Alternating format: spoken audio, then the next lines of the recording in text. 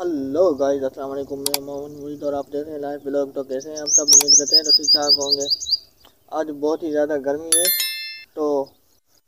आज गर्माश के बचने के लिए एक देसी नुस्खा है, वो भी आपको बता, बताऊँगा। तो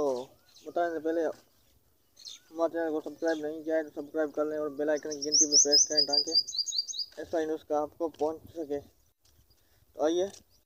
आपको दिखाते हैं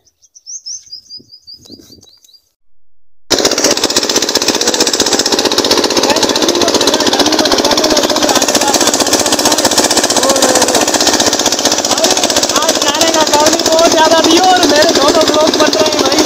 और गर्मी आज बहुत ज़्यादा थी गर्मी को एंजॉय करने के लिए भाई आज ना मुझे बहुत ज़्यादा गर्मी हो रही थी और आज वीडियो बना रही और ये भी मेरी वीडियो बना रहा है इनको दिखा दो इनको अरे तुम क्या कर रहे हो